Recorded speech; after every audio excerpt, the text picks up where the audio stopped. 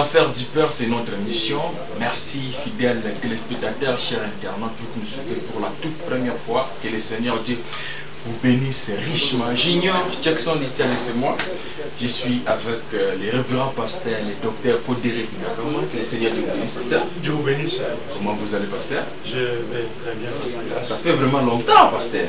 Oui, on est trop saturé. Il y a le travail, il y a l'œuvre de Dieu. Oui, lorsqu'on combine les deux, ça nous prend trop du temps. quoi. Et l'église aussi. Oui, l'église, euh, c'est notre priorité, non? Vous voyez, on a dit que cherchez pas le royaume et le reste sera par-dessus. Donc, euh, c'est là où on focalise beaucoup plus le temps. On se concentre beaucoup parce que c'est l'œuvre du, du Seigneur, l'œuvre de Dieu. Donc, c'est un peu ça. Quoi. Merci beaucoup, pasteur. Vous avez organisé une série de réunions de réveil ici à votre église. Quel était le but? Et d'où est venue l'idée d'organiser la réunion des réveils ici Mais excuse. Euh, le but, euh, c'est d'abord de faire comprendre à tous les Africains que le, le réveil, c'est non Afrique. Vous voyez, j'ai écrit ce livre depuis 2019. 2019. Les réveils, les voyages. Voilà, il n'y avait, Le pas, voyage y avait pas des événements de l'Ouest où non, la Russie est venue, tout ça, les coups d'État, il n'y en avait pas. Quand je l'ai écrit, c'était un enseignement que j'ai donné sous l'inspiration. Montrant comment le voyage, euh, le réveil a voyagé et laisse jusqu'au sud est l'Afrique. Vous comprenez? Et euh, en écrivant ce livre, je me suis appuyé sur le prophète, sur la Bible. Hein, donc les faits historiques. Donc c'était pas, c'est un livre qui n'est pas euh. Ce n'était pas un hasard. Non, c'est pas un hasard. Ce n'était pas aussi un rêve. C'est pas un rêve, c'est une inspiration. Mhm. Et parce que c'est un enseignement que j'ai donné à l'église pendant plus de six mois. Ça, c'est un enseignement. Le voyage du Le réveil. voyage du réveil. Parce que euh, il fallait commencer par le premier réveil, qui est le réveil de la Pentecôte, le réveil de l'Est. voyez? Et de ce réveil, nous sommes passés par l'Asie. voyez? Là, on parle des Éphèses, hein, l'Asie mineure, Éphèse, Simine, Tchati. voyez? Et de l'Asie, nous sommes passés en Europe. Vous comprenez? Et de l'Europe, nous sommes descendus à l'ouest, des États-Unis, coucher du soleil. voyez? Il y a eu le réveil. Et c'est ce réveil qui a produit les frères Branham, hein, les, les, les Coleman, tout ce que nous connaissons là. Vous comprenez? Ça, c'est d'un côté, quoi. Parce qu'il y a deux réveils. Chaque fois qu'il y a un réveil, Branham dit que le réveil, c'est toujours des jumeaux. Vous voyez? Il y a le réveil du plein évangile et le réveil pentecôtiste ou la dénomination. Vous comprenez? Donc, partout le réveil Donc aujourd'hui, là, nous avons des réveils. Deux réveils. Des Par- réveils, ceux du message et ceux du- des Ça a été toujours des jumeaux.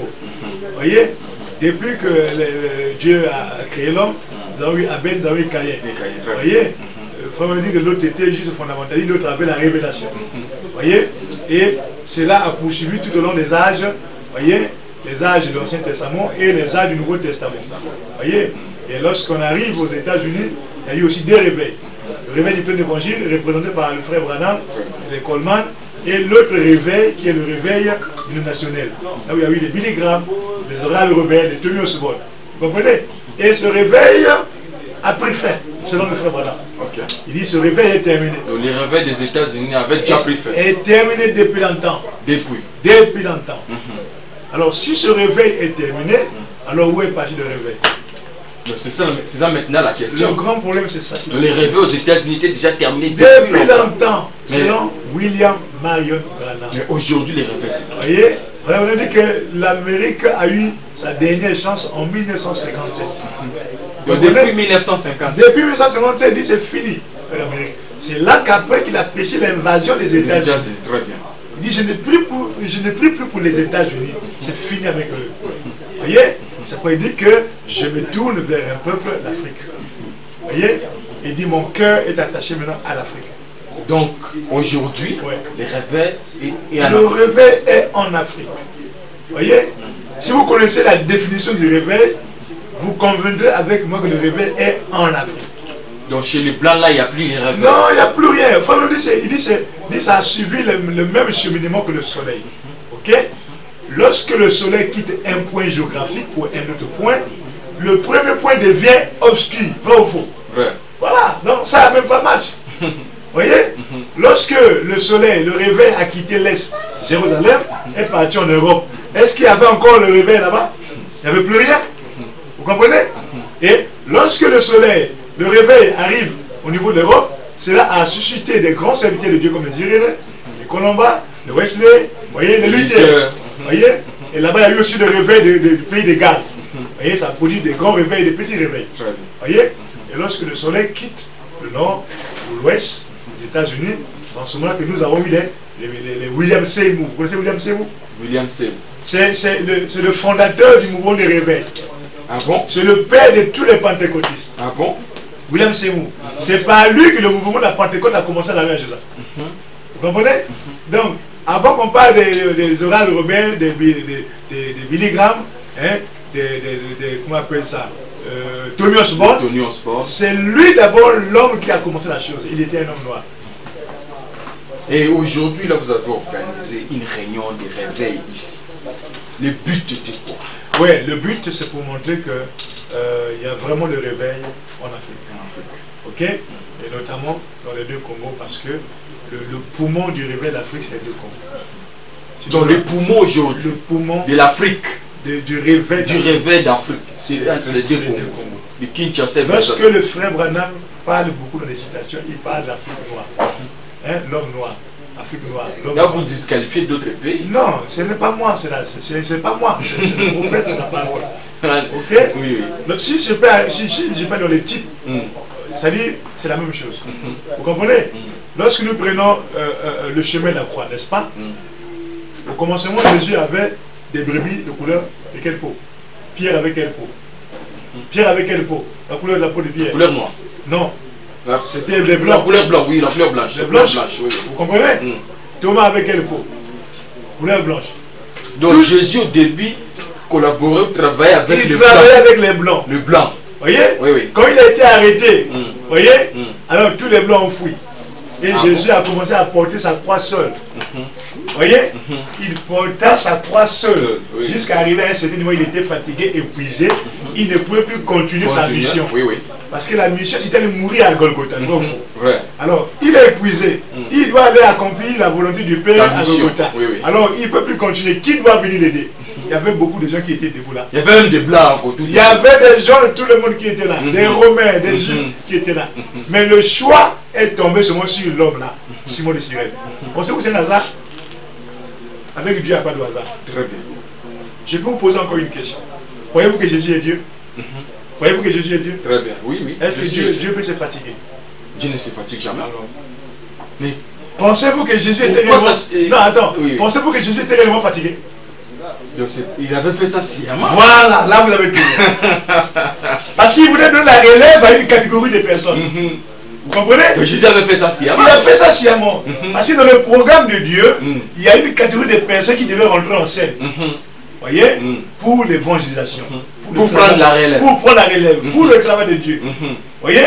Et cet homme-là, Simon de Cyrène, Mhm. qui était notre grand-père, voyez A pris la relève. Un homme de couleur, noir, ok A pris la relève jusqu'au point culminant. Golgotha. où Jésus a été crucifié. C'est pour dire quoi?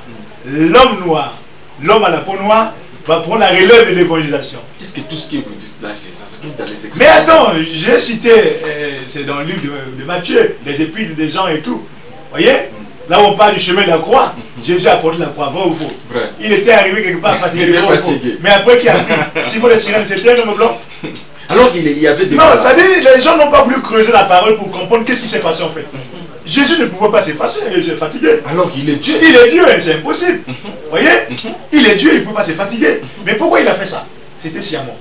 Il a fait ça Parce sciemment. qu'il savait que dans le plan de la rédemption, il y a une catégorie de personnes qui devaient rentrer dans la chose. Qui devait prendre la relève. La relève. Il y avait des blancs qui étaient là, tout le Tout monde autour. était là, des bons gaillards, mais le choix est tombé sur cet homme-là. personne noire. Pourquoi cet homme-là? C'était un type, il n'y a pas d'hasard avec lui. C'était un type montrant que ce sont les Africains de couleur noire qui vont terminer avec l'histoire du réveil. Et qu'est-ce qui justifie entre les deux Congos? Ça n'a rien à voir. Non, c'est simple. Mm. Regardez. Qu'est-ce qui justifie entre les deux Congos Je te prends un exemple simple. Parce qu'il faut d'abord définir le réveil et ses caractéristiques. Très bien. On commence d'abord par la définition du réveil. Le réveil, c'est quoi? C'est la réanimation, n'est-ce pas? Mm. Quand on parle du réveil, c'est le relèvement. C'est la réanimation. Voyez? Les femmes disent, va plus loin, il dit réveil consiste à réveiller même ce qui est en vous, Jésus, Mhm. qui est en vous, n'est-ce pas? Vous comprenez? Et il dit que partout dans le monde, là où le réveil a eu lieu, ce réveil a toujours été accompagné par des prodiges et des miracles. Signes des prodiges. Des signes. C'est ça la caractéristique d'un réveil. On ne peut pas dire qu'il y a un réveil quelque part et qu'il n'y a pas de signes et de prodiges. Ça, c'est faux. Donc au Cameroun, il n'y a plus de réveils. Non, attends, je suis en train de venir doucement, ok? Mm. Maintenant, je vous pose la question en Afrique ici. Quels sont ces pays là où il y a plus de croyants dans le message? Est-ce que vous savez que les deux, les, Les deux Congos. les deux Congos, hein, c'est-à-dire résument 80% des croyants du message Ah bon? Mais je vous dis la vérité. Il faut 80%. demander, demande de voir à la voix de Dieu. Demande aux À la la, bibliothèque. Dieu. On va vous dire ça. 80%. Attends, si vous avez une église de 300 personnes au Congo, vous allez aux États-Unis, c'est même 4 églises ou 5 églises. Oui, oui. Les gens disent qu'il a une église à Paris. L'église a combien de personnes? 5 personnes. Vous arrivez, ce sont des églises de maison. C'est 10 personnes, c'est 20 personnes. Aux États-Unis, c'est encore plus pire. De l'église maison. C'est des églises de maison. Lui et sa famille. Si quelqu'un a, a 50 personnes, il a une grande église. Mhm. Oh, chez nous, 50 personnes, c'est même pas une église, vraiment, il faut dire église. Là, vous avez honte même de prêcher. Et vous avez honte de Dieu. Vous comprenez? Oui, oui. Mais quand tu viens dans les deux Congos, Mm. les gens sont racontés des centaines, des milliers dans les églises. Mhm. Vous comprenez? Qu'est-ce qui fait ça? Qu'est-ce qui produit ça? Regardez le premier réveil. Une prédication de plus de 15-30 minutes a produit combien de ça? On peut dire 3000 ans. Jésus nous avait laissé combien Hein? Quand j'ai commencé, moi je suis enseignant, je suis docteur. J'étais, c'est-à-dire j'étais lié aux enseignements. Hein, Enseignement. Enseignement, enseignement. Une fois, j'ai entendu la voix qui me dit, si tu veux que l'église ait beaucoup de gens, prêche le surnaturel.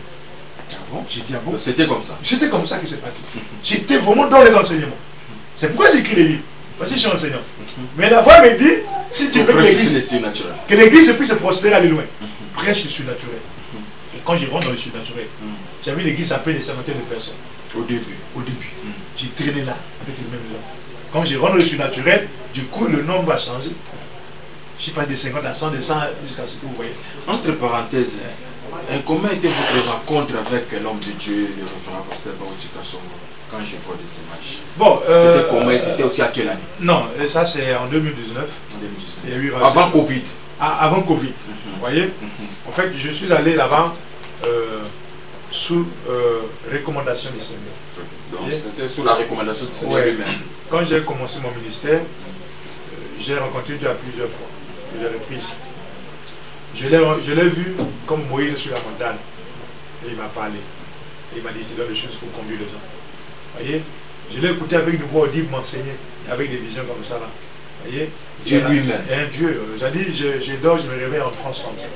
Je quitte mon lit, je me réveille en transe. Ah bon? Oui. Je sors de ma chambre, il dit va au salon, porte le boucher. Je dis, dis. Je suis sous l'onction en train de prendre des choses, j'ai réécouté, j'ai réécouté. À la fin, il me dit, ce que je te donne, c'est pas pour faire mal, pour faire des prédicateurs, c'est pour les aider. Ok. Donc c'était comme ça. J'ai plus de 13 livres qui sont écrits déjà, mais deux qui sont seulement publiés. Les voyages du réveil. Ouais, du révèle. Et ce livre que vous voyez là, hein, la, la troisième guerre mondiale, l'Armageddon là. Vous voyez ce livre-là. Les conflits Le conflit. israélo-palestiniens. La troisième guerre la mondiale. troisième guerre Ça, mondiale. c'est des livres que j'ai publiés. Mais d'autres sont en cours de publication, tels que le grand plan de la rédemption. Tel, tel que la vérité sur le mystère du septième saut. La vérité. Oui, Il y a des vérités cachées là-bas. oui, il y a des vérités cachées. Ah bon? Monsieur, aujourd'hui, les gens se collent la tête. Il s'est révélé, c'est pas révélé. C'est qu'il y, a il y a un problème. Il y a des vérités. Mais oui. Voyez, il faut qu'il y ait la vérité quelque part. Mhm. Quand vous voyez une contradiction quelque part, c'est qu'il y a une vérité il y a- quelque part. oui, oui, Il faut trouver cette vérité. Oui, oui. Et par la grâce ça, c'est Dieu- tout. euh, Dieu vous a révélé de ça. En tout cas, j'ai C'est dans les livres, dans les livres déjà. dans mes livres, pas mes livres. Mhm. La vérité sur le mystère du septième saut. C'est un livre que j'ai déjà écrit, mais pas publié encore. Tiens, ok, ok. Vous voyez J'ai l'autre que, que j'ai intitulé Les caractéristiques d'une véritable église. Caractéristiques du véritable église. Voilà, C'est comparable aux cinq identifications d'une véritable voilà, voilà, sorte. voilà, c'est en quelque chose comme ça. Vous voyez? Et j'ai un autre, l'origine de la malédiction de Canaan. Ou de votre malédiction. Ça, c'est très profond parce que. Hein, oui, mais attends, ça veut dire que quand on est enseignant, on n'est pas docteur juste pour être docteur. Si vous êtes un docteur, vous devez écrire. Mais aujourd'hui, déjà, Un docteur dans la Bible. Docteur, Non, un docteur dans la Bible. Même, même pas un livre. Un docteur, la Bible, c'est un scribe. C'est pas n'importe qui. Vous voyez, c'est comme tu le dis, on n'est pas docteur, docteur. Docteur en parole, Tu n'as pas. tu n'as Il pas n'y a un même livre. pas, Non, de livre. Je suis un docteur. docteur en quoi? En fait, je suis un docteur au carré. Au carré. Ça veut dire, j'écris et je manifeste la guérison. Très bien. Vous comprenez? Je ne suis pas seulement un docteur la lettre, j'écris et puis je manifeste le nom de guérison. Très bien. Parce qu'à l'hôpital, à puissance. l'hôpital aussi, il y a des docteurs. Mhm. Vous comprenez? Oui, oui. Voilà. Donc je ne suis pas seulement le docteur la lettre, parce que la lettre tue, et oui, oui. Voilà. Très bien. Vous comprenez? Et la rencontre. Bon, la rencontre, c'est comment? Quand j'ai commencé mon ministère, j'ai rencontré déjà plusieurs fois, la rencontre de fait s'est manifestée mon ministère plusieurs fois, jusqu'à être visite en 2012. Vous voyez 2012, j'ai été filmé à la chaire, euh, filmé, pas photographié, filmé pendant une heure. Il me dit, tu ne prêches pas, attends, je vais parler avec mes enfants. Et la colonne est descendu en train de tournoyer sur la photo. Vous voyez la photo là, c'est bien foutu, je n'ai même pas jeté ça. Oui, oui. C'est- un monument pour vous. C'est un archive. C'est sur cette photo-là que la colonne est descendue pendant une heure. Et on a filmé ça. Vous voyez J'ai manifesté dans des guérisons jusqu'à ce qu'il y a eu des résurrections de morts. Oui, voyez? Et quand on arrive vers 2018, Dieu me dit il faut être humble. Tu as une portion d'onction qui, est- qui travaille avec toi, mais il y a une autre portion d'onction que tu as besoin, tu dois avoir. Tu dois ça- tu dois t'associer avec ça. Et si tu veux avoir cette portion d'onction, il faut traverser vers l'ancien. Il va t'imposer la main, tu auras comme une double portion. Vous comprenez? C'est par là que j'ai pris la décision. J'ai traversé en 2018. Donc avant, vous n'avez pas rencontré un autre ancien ici Non, non, non, non. Avant, je n'ai pas rencontré. C'est vrai, je sors de quelqu'un, un pasteur. Après, il est parti à Paris. J'ai œuvré seul, j'ai continué. Vous voyez? Et mon œuvre l'œuvre a prospéré euh, jusqu'à ce qu'il y a eu des grands témoignages. Vous Quand vous avez rencontré l'homme de Dieu, votre rencontre là, Euh, pour la première fois, c'était Vraiment, euh, j'ai aimé d'abord, c'est vraiment un, un vieux qui aime les gens, qui est humble, qui est saint. Vous comprenez? J'ai vu en lui la simplicité et j'ai vu en lui l'amour. Maintenant, euh, ce qui m'a dépassé, c'est quand il va commencer à faire le mouvement, vous voyez là. Vous voyez là La prière. euh, les mots qui sont sortis de sa bouche, ça m'a fait peur. Et vous avez ça jusqu'au jour d'aujourd'hui? Je n'ai jamais oublié ça. Vous savez ce qu'il a dit? Il dit Seigneur, je prie que tu puisses utiliser cet enfant-là plus que tu m'as utilisé. Ah bon? J'ai Plus. J'ai eu peur. Comment le vieux peut dire ça? Chose pareille. Des déclarations. j'ai compris que ce n'était pas lui, C'était Dieu. Vous comprenez? Vous voyez? Donc, euh, je vous dis que la, la rencontre a été chaleureuse. Vous voyez, il m'a béni, je suis rentré, et puis voilà. Les résultats sont là, c'est voyez. Aujourd'hui, vous avez grande église, vous avez les signes et les prodiges qui vous Et j'ai des petites églises un peu partout. J'ai des enfants qui ont déjà des églises. Vous voyez, à Pointe-Noire et tout ça. Ah, C'est lui qui a approché les premiers là. C'est mon fils. Fils. Hein, Donc, donc, même jusqu'à Mbandaka là-bas, j'ai des enfants. Vous comprenez? Donc le ministère a évolué. Vous voyez? Maintenant, le, le, le vieux Beka, pour moi, c'est le doyen du réveil l'Afrique. Le doyen. Hein, pour moi, c'est ça. Donc, euh, c'est lui qui a commencé les réveils en Afrique. Non, pour moi, ça dit le réveil l'Afrique, c'est lui. C'est lui qui incarne les réveils. Donc, tous ceux-là qui ne passent pas par BK donc, n'ont pas de réveil, en quelque sorte. Non, le problème, c'est pas de passer par Beka. Vous voyez C'est la conduite. Le problème, c'est la conduite. Moi, j'ai eu le réveil avant que j'ai- j'aille voir Beka, n'est-ce pas? Le grand problème, c'est qu'il y a une interconnexion. Vous voyez, il y a une profondeur qui doit appeler là. Profondeur. Si le Dieu qui est en moi, c'est le même qui est en lui, il faut qu'il y ait une collaboration. Très bien. S'il n'y a pas de collaboration, il n'y a pas de connexion, c'est un problème. Mhm. C'est quelque chose qui cloche. Mais oui, regardez, je vous dis une chose, un témoignage. ok? Mhm. Euh, lorsque la Côte a été manifestée au niveau de Barouti Taverna, vous voyez, chez moi, il n'y en avait pas encore. Nous étions encore dans le 2007, hein, 2008, il n'y en avait pas encore. Mais je je n'avais jamais traversé qui, mais je croyais dans cette Tu croyais déjà de loin. Je croyais dans ça. Ok? Mais un jour, moi-même, je dors, la voix me dit Est-ce que tu sais, si tu pries comme Paul, tu verras la colonne de feu? J'ai dit Ah bon, la voix dit Commence maintenant à prier. Je commence à prier, je prie, je prie, je regarde le ciel, il faisait soir. J'ai vu la colonne de feu en train de marcher, de, de tourner. Vous voyez Dans les airs. Poum, poum, poum, poum, poum, poum, poum. Et quand je vois ça, je tombe de joie, de- je, tombe évanoui de joie. J'étais seul. J'étais seul. Je tombe évanoui de joie. Je dis la colonne de feu, la colonne de feu. Je suis tombé de, de, de, de joie. Et je me réveille, c'était un songe. C'était dans, dans un songe. Un songe. Mais la réalité, c'est en 2009. J'ai fait ce songe entre 2007 et 2008. La réalité, c'est en 2009. J'étais à la chaire, la, la voix me dit Tu vas rentrer en jeûne avec, avec quelques personnes de l'église, pas tout le monde. Choisis des gens. Je suis monté, j'ai choisi quelques personnes pour moi. On a commencé le jeûne le mardi pour terminer le jeûne. Le jeûne, le jour de la terminaison, la fin du jeûne. C'est là où il y a eu les choses qui arrivent. Ah bon? Ah non, le Saint-Esprit prenait les gens comme vous, comme ça, on se on jette contre toi. Dès que tu es là, on te prend, on jette toi. Seul. Seul comme ça, on te prend, les gens pleuraient, les, les- femmes et les, les enfants, les, les garçons par terre, en tout de feu, la colonne de feu. Et le frère qui fumait à la fin, quand il va, il développe la photo là, il n'y en a pas ici. C'est dans là. Voilà, c'est là où dans il trouve ça.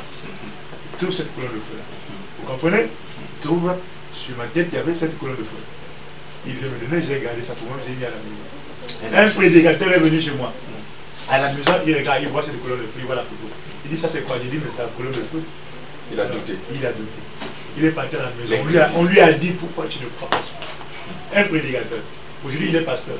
On lui a dit, pourquoi tu ne crois pas ça Il dit, oui, c'est pas la colonne de feu. Il dit, attends, comme tu ne crois pas ça, je vais te montrer cet homme-là comment il est. Il dort, il regarde le feu qui sortait partout sur mon corps. Il a crié, oh, il est devenu comme ça. Il dit, oui, ça c'est encore rien. Va leur dire. Va leur dire, ce que tu as vu là, c'est Lui-même. Hein, il dit, va leur dire, ce que tu as vu là, c'est. S'ils sont sincères, continue à prier dans ce rythme-là. La colonne de feu sera comme le pain. Ça. Ça sera comme le pain. Et même les pères. Et il dit, ça sera comme le pain. Or, le pain, c'est quelque chose qui entoure tous les jours. Oui, oui, oui, oui. Vous voyez? Ça, c'est en 2009. En Nous 2019. quittons 2009. Hein, nous allons en 2000, pas 19, 2009. 2009, 2009. oui. Hein, nous Oui. quittons 2009 pour 2012. On arrive en 2012. C'est là où il y a eu explosion du réveil dans l'église. Ici. Dans l'église. Et c'est là où la colonne s'est manifestée clairement. Visiblement. Je sors, je sors du bureau pour prêcher. Et le thème que j'avais préparé, c'est le témoignage d'un vrai témoin. Le témoignage d'un vrai témoin. C'est le thème que j'ai médité toute la nuit pour venir prêcher aux gens. Mm. J'arrive à l'église. Oh, la soeur qui était venue très tôt matin pour aller à l'église, quand elle balait, elle regarde la photo de Jésus Hoffman, notre photo de Jésus Hoffman, Oui, oui. il voit le feu en train de. Elle a eu peur. Je suis en train de voir Est-ce que c'est c'est moi Elle a vu le feu. Le feu train de tourner, elle a eu peur. Elle balait, balait, et elle regarde le feu est toujours là. Elle dit non, c'est suspect. elle a fini vite, vite, elle a couru à la maison parce que c'était encore le matin. Mm. On revient pour le- commencer le culte tout le monde. Dès qu'on commence à chanter, alors ça prend prophète soeur. La même, la, la même sœur. La même soeur. Commence à sauter, sauter, sauter, sauter. Dès que le conducteur du chant termine de chanter, je monte à la chaise. Je voulais ouvrir la Bible. Alléluia. La même colonne de feu et merde. La même que le feu dans la sœur Barrette. Il dit, mon serviteur, tu ne veux pas prêcher maintenant. Tu vas prêcher à 12 heures. Nous sommes encore 10 heures fort. 10 heures fort. De 10h jusqu'à 12h. Et il me dit ceci, tu ne vas pas prêcher maintenant. Tu vas prêcher à 12 heures. Parce que je veux parler à tes enfants. Waouh. Et il dit, si vous doutez que ce n'est pas moi qui parle, prenez vos appareils photo, fumez la photo de fumant. S'il n'y a pas de feu, c'est que ce n'est pas qui parle. Hein? Tel que tu vois là, tu fumes là. Hein? Tout le monde a pris les appareils, on commence à On commence à filmer. Donc on train de tourner. Ça tourne là-bas, ça Si la parle. photo de Jésus. Ça tourne sur la photo, ça part dans sa bouche. Donc c'était comme ça. C'était comme ça. Ça tourne dans la- la- les images, les photos que les gens voient et comment ça tourne sur la photo là-bas. Les gens sont en train de fumer quoi. Mhm. Mais ça part dans sa bouche. La bouche de la scène qui parle. Un, je viens bientôt. Répondez-vous, laissez le péché. Soutenez mon serviteur. Voyez, je vais l'utiliser puissamment dans ce pays-là. Voyez, vous qui avez l'argent en banque là, qui ne voulez pas soutenir, ça va rester parce que je vais venir vous chercher. Les gens pleuraient, les gens jetaient les bébés. Les frères et les sœurs. En 2012. 2012. 2012. Et l'onction s'est arrêtée dans la sœur 12 heures. pile. Donc de 10h jusqu'à 12h. 12 heures pile. Dieu lui-même. L'onction s'arrête. C'est-à-dire, pendant que les gens fument, la sœur décrit tous les mouvements de la, la colonne de feu. Ah bon? Il dit, ça devient un grand feu. Ça devient trois feux. Donc ça, ça, ça, ça coupe là, trois feux. Et ça part. Ça fait, il dit, ça va maintenant derrière le rideau. Et vous voyez ce que ça va derrière le rideau. Donc nous avons un feu de plus de, de une heure colonne de feu ici. Vous comprenez? Et quand la sœur s'arrête, 12 heures, j'ouvre ma Bible, je commence à prêcher. Et vous avez apprécié la prédication, Le les- témoignage. les, les Le vrai d'un vrai témoin. Voilà, merci Et à partir de là, il me donne le feu vert de faire de campagne. Ah bon? Ah oui? Donc c'est en 2012 là toujours. En 2012 que j'ai reçu le feu vert de gagner de campagne. Et ma première campagne, je l'ai fait en 2013. En 2013. Vous commencez maintenant là. J'ai commencé. Quand j'appelle les témoignages, c'est plus de 50 personnes qui s'allient pour témoigner. Les témoignages. Témoignages. C'est plus de 50 personnes. Et parmi les guérisons, il y a des pasteurs guéris. Mais apparemment, ici à Brazzaville, il y a des prédicateurs qui ne croient pas parce que Frère Branham m'a dit c'est difficile à un homme de croire à un autre homme. Mais pourquoi aujourd'hui il y a les réveils ici à Brazzaville? On ne voit pas la communion, on ne voit pas l'unité, on ne sent pas l'unité là tout autour de vous, les serviteurs de Dieu. Qu'est-ce qui, qu'est-ce qui se passe? a- Qu'est-ce qui cloche? Il y a un problème. Il y a un problème. Mm. Il faut retenir une chose, la Bible est claire. Il y a l'égoïsme, euh, il y a l'ego ici, les- les- la guerre des leadership. Oui, le, le problème, a- le problème c'est quoi? Mm. Le problème, la Bible est claire. Qui s'assemble, c'est. Qui ne se ressemble pas ne s'assemble. Voilà. Il y a toujours une profondeur qui attend. Il y a l'autre profondeur. Moi, quand j'ai fait mes trucs, j'appelle mes, mes amis, mes frères, les prodigos, ça, les pasteurs qui voulaient autres. Moi, je sais qu'ils voient, ils croient la même chose que moi. Oui. Je ne pourrais jamais appeler quelqu'un, je sais, qui, ne croit pas au réveil. C'est- dans ce sens-là. Il y a ceux-là qui ne croient même pas. Non, ils sont Mais ils sont dans les messages. Pour ça, pour eux, c'est du pentecôtisme. Mais ils sont dans les messages. Ah, Ils sont dans le message. Mais ça, c'est quoi ça? Voyez Vous savez, il y, a il y a des gens qu'on doit encore enseigner bien le message. vous ne pouvez pas être, état pasteur. vous ne pouvez pas être du message et ne pas être pentecôtiste. Dit que il faut lire mon livre Les caractéristiques d'une véritable église. Voyez Mm. C'est pourquoi j'ai toujours dit aux gens, si les gens avaient compris le mystère des cinq ministères, Le mystère des cinq ministères. alors on devait se respecter. Ok. Voyez? Regardez mes cinq doigts, n'est-ce pas? Mhm. Vous avez le gros doigt là, c'est quoi? C'est l'apôtre. Mhm. Celui qui vient, c'est quoi? C'est le prophète. Son rôle, c'est quoi? C'est montrer le chemin. Mhm. Ok? Celui qui vient après le prophète, c'est qui? L'apôtre. Non, c'est pas là. L'apôtre est ici. L'apôtre est le début. Il est au début. Mm. Regardez l'ordre, comment Paul a établi ça. Mhm. Vous avez l'apôtre, vous avez le prophète. Et après le prophète vient qui? Le docteur. Le docteur, voilà. Après le docteur vient qui? Le, Le le pasteur. pasteur. Et vous avez le petit doigt qui est les- Les l'évangéliste. évangélistes. Regardez, entre le prophète et le pasteur, quel est le doigt qui est au milieu? C'est le docteur. C'est le docteur qui est Ça veut dire quoi? Le docteur, c'est un stabilisateur. l'ordre le plus élevé. Non, pas l'ordre le plus élevé. C'est-à-dire, il se tient au milieu entre le prophète et le Et pasteur. Le pasteur, oui, oui.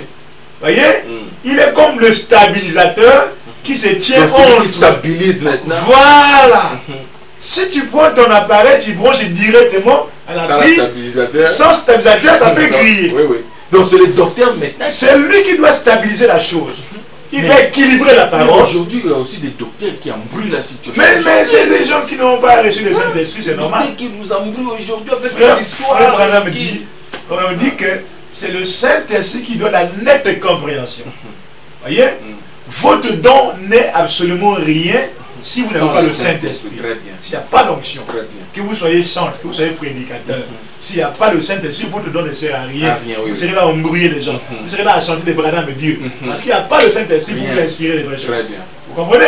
C'est ce que nous voyons dans le message. Des gens qui chantent Branham et Dieu. Des gens qui interprètent mal la parole. Pourquoi? Par manque du Saint-Esprit.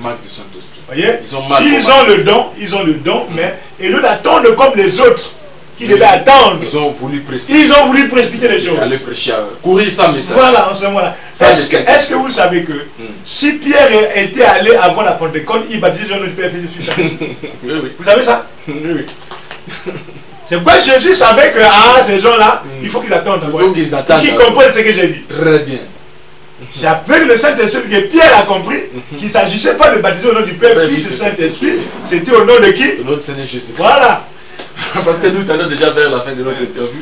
Euh, Qu'est-ce qu'on peut retenir de cette réunion de réveil Euh, Vous avez invité plusieurs hommes de Dieu. Aujourd'hui, avant-dernier jour, et demain, ce sera les derniers jours. Qu'est-ce que les gens vont retenir de cette réunion que vous avez organisée ici à votre église? Ouais, euh, ce que les gens doivent retenir, c'est que maintenant là, c'est le tour de l'Afrique de manifester Jésus. Ou des Africains de manifester Jésus. Voyez? Voyez, euh, le voyage du réveil, c'est comme la course des témoins hein, ou des relais qu'on faisait à l'école. Vous connaissez ça, non? J'ai le bâton dans ma main, je cours, je cours, je te donne. Alors. Voyez? Paul a couru, pam, pam, pam, pam, pam, pam. Il a donné aux Irénées. Hein? Martin, vous voyez, Luther, John Wesley, et puis Branham. Maintenant, Branham est venu donner aux Africains. Vous. C'est là le problème que les gens n'ont pas compris. Les gens ne croient même pas. Non, il faut lire bien le message. voyez? Quand il dit que mon message c'est pour les hommes de couleur, ça veut dire quoi? Mais aux Africains, pas, les- pas tous les Africains. Les, Les hommes de couleur. Hein, les hommes de couleur, Non, pas seulement les deux Congos, les hommes de couleur, on dit peau noire. Peau noire, oui. On dit peau noire, nous avons les Sud-Africains, nous avons hein, les Kenyans, les, les, Camerounais, tout ça. Maintenant, le problème du, des deux Congos, c'est quoi? C'est que nous sommes en Afrique centrale. L'avantage. L'avantage, c'est que nous sommes au centre. Donc, nous sommes comme le centre de ce réveil-là. voyez? Nous sommes comme le poumon de ce réveil. Même sur le plan écologiste. Vous savez, aujourd'hui, c'est le bassin du Congo qui, qui, alimente le monde entier, avec l'Amazonie. Il n'y a que les deux grandes forêts aujourd'hui qui alimentent le monde entier. Or, nous savons que l'Amazonie, c'est le Brésil. Le Brésil, c'est là où il y a les prostituées, c'est les démons là-bas. Et ils n'ont plus de réveil, c'est fini là-bas. Vous voyez? Donc, ça veut dire que ce qui s'applique sur le plan physique là, a aussi des impacts sur le plan spirituel. Si aujourd'hui le monde compte sur le bassin du Congo, mhm. alors ça veut dire que sur le plan spirituel, voilà, on dit les jeunes gens sortiront de l'Afrique. Mhm. Amen. Mais les jeunes gens, les jeunes gens, quelle Afrique? Afrique noire, pas blanche. Nous savons ce que c'est que l'Afrique noire, les Maghreb. Pas les Marocains là. Non, eux, eux c'est l'islam. c'est l'islam.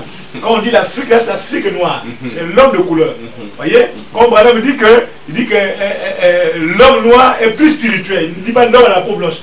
L'homme noir. Donc il fait référence à dire ceux qui portent la, peau noire, les descendants de Simon de, de.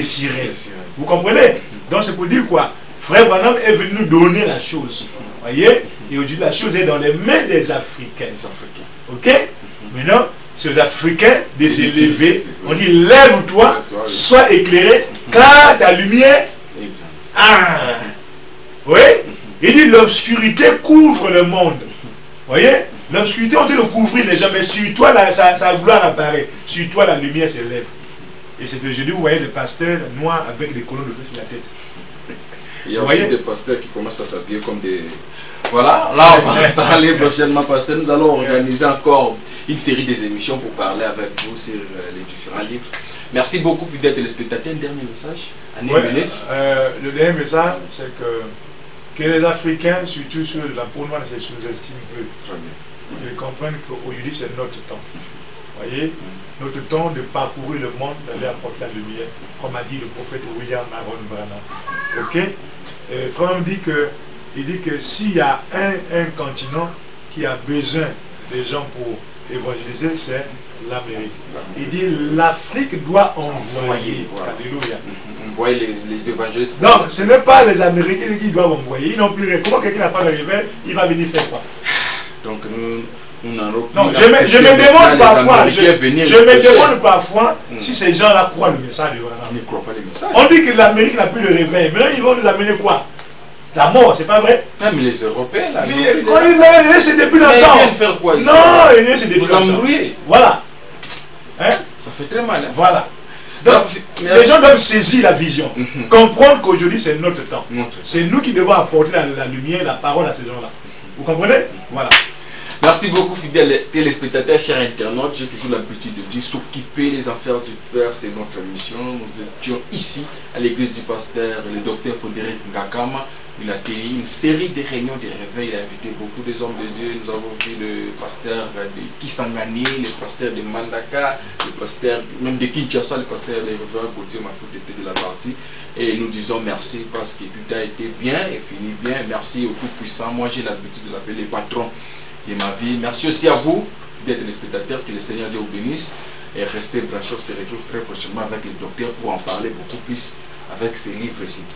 J'ai vu des livres, Réveil, Le voyage du réveil, et puis euh, les conflits israélo-palestiniens et la troisième guerre mondiale. C'est très important. On en parlera toujours dans cette émission. Restez branchés et que Dieu vous bénisse. Merci. Dieu vous bénisse richement. Ce qui nous unit est plus fort.